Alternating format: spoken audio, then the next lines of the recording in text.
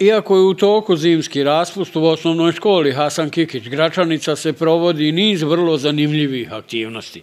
Posebno su zanimljive radionice za uposlenike škole na kojima nastavnici rade na potpunom korištenju novih informacijonih tehnologija u nastavi, a po smjernicama MIOS-a. Pošto živimo u vremenu globalizacije i digitalizacije, Uz smjernice MIOS-a mi smo odlučili da danas i uče, u stvari danas, da nastavnicima naše škole predstavimo neki novi alat digitalni koji se koristi u nastavi, poželjno da se koristi u nastavi da bi se obogatio nastavni proces.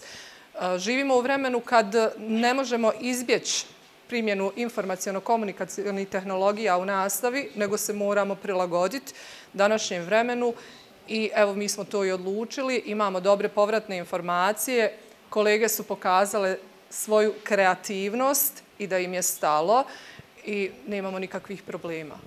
Ovo novo vrijeme od nastavnika traži konstantnu edukaciju kako bi mogli pratiti potrebe i mogućnosti svojih učenika. Pa u nekim slučajevima jesu, sve zavisi šta je u pitanju. Znači, postoji dijelovi gdje nisu u prednosti, a postoji dijelovi gdje jesu ispred nas. Ispred nas, nastavnika informatike čak koji predajemo, u nekim slučajevima jesu. U sve ovo konstantno valja posebno učenike educirati o pravilnom korištenju informacijonih tehnologija te upozoravati na potencijalne opasnosti koje može donijeti zloupotreba i neznanje.